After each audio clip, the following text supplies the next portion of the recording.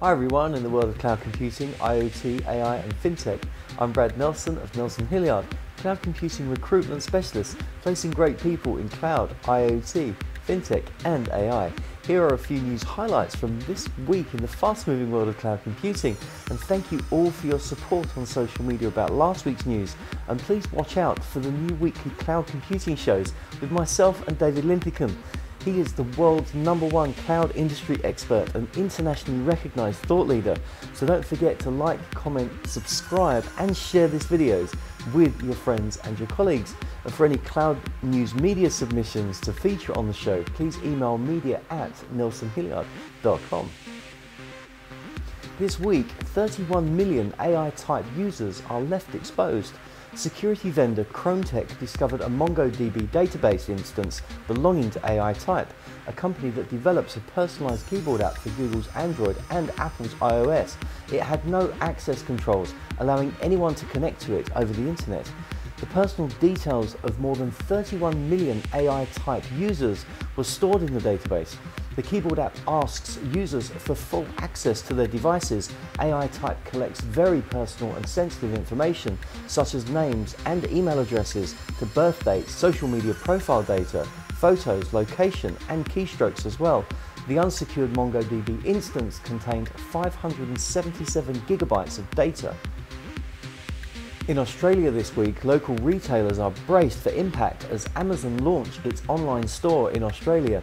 The company said it would offer products across 23 categories. Orders will be filled from Amazon's new fulfillment centre in Dandenong South in Melbourne, but already has more than a thousand employees across the country, including staff for its AWS and Kindle brands. Amazon said that thousands of local businesses will use the local platform to sell their products Australia's traditional bricks and mortar retailers brace themselves for the impact on their $300 billion retail market. The pressure is on for local online operations like Kogan and eBay, as well as the traditional retailers like Harvey Norman, JB Hi-Fi, Myer and David Jones. Melbourne opts for cloud in preparation for the population boom.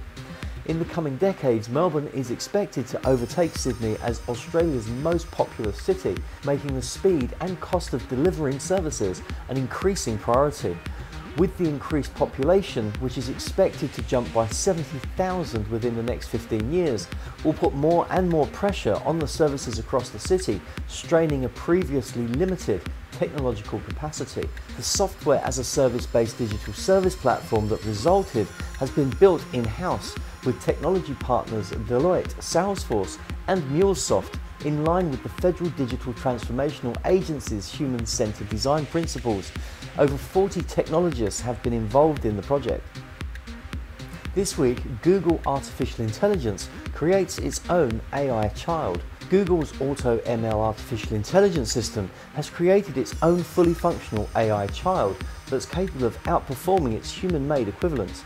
The computer-made system, known as NASNet, is designed to identify objects such as people and vehicles in photographs and videos. Studies show that NASNet is able to identify objects in an image with 82.7% accuracy. Google says this is an improvement of 1.2% over AI programs created by humans. The web giant has made the system open source, which means developers from outside the company can either expand upon the program or develop their own version.